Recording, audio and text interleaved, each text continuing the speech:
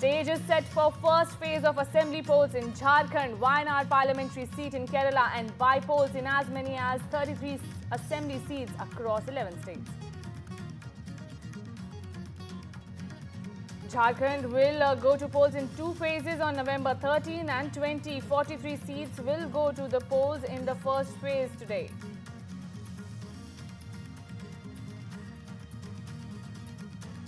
The National Capital Region is set to get its uh, second major airport in April next year and uh, with the first trial flight scheduled a few days from now at the Noida International Airport, also known as the Jewar Airport.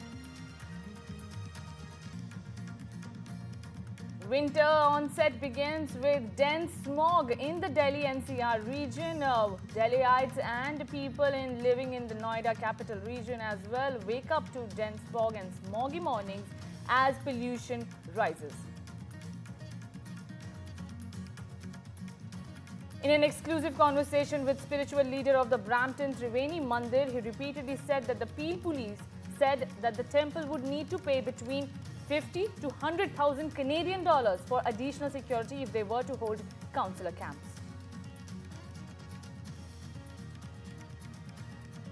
And big tech buckles under regulatory pressure, changes uh, Instagram and Facebook uh, policy in the European Union. Important changes uh, have been made, uh, including reducing the price of their subscription service by 40%.